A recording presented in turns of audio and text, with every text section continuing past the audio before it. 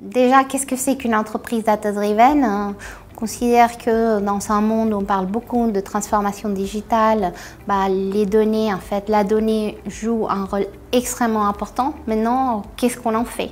Et euh, déjà, pour en faire quelque chose, il faut avoir une idée claire et c'est pour ça qu'on pense qu'il euh, faut avoir une stratégie liée en fait à, cette donnée.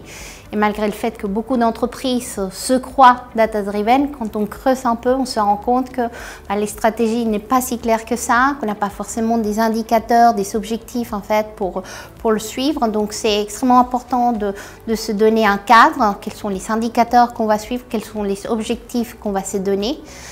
Est-ce qu'on est équipé aussi Les rôles des technologies dans ce cadre-là pour exploiter euh, des données issues de différents types de sources est extrêmement important, mais aussi les rendre accessibles aux utilisateurs?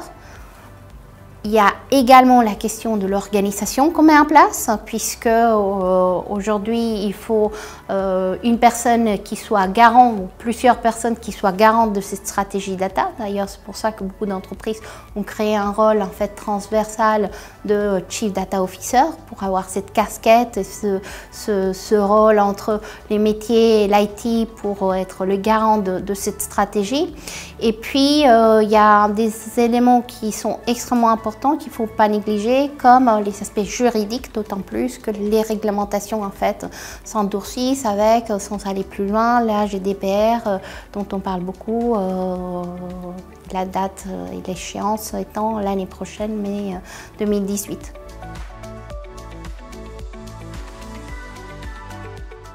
Donc, pour que les annonceurs puissent gérer effectivement leurs données, euh, il est important d'être équipé en fait avec euh, des technologies qui correspondent aux enjeux d'aujourd'hui. Ces enjeux, euh, quels sont-ils? Bah, Tout d'abord, on est confronté à énormément de sources de données, donc non seulement internes mais externes, des données structurées, des données non structurées. Donc il faut les architectures en fait qui, euh, qui vont permettre de les stocker. Et puis surtout, et c'est quelque chose qui est très important puisqu'on parle beaucoup de big data, c'est des technologies finalement qui vont me permettre de stocker en fait mes données. Euh, dans des plateformes plus modernes, des coûts plus intéressants souvent que des anciens data warehouse. Par contre, ce qui est intéressant, c'est ce que les métiers vont faire avec ces données.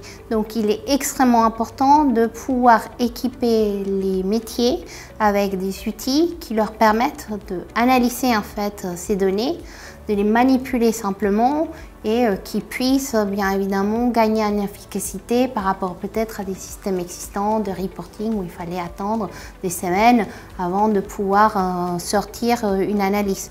Et bien évidemment, sans oublier la gouvernance qui est extrêmement importante lorsqu'on parle des données, puisque, in fine, ce qu'on cherche, c'est avoir la vérité euh, lorsqu'on on, manipule des données, il faut qu'il n'y en ait qu'une et pour cela, il faut s'assurer que euh, la donnée soit gouvernée.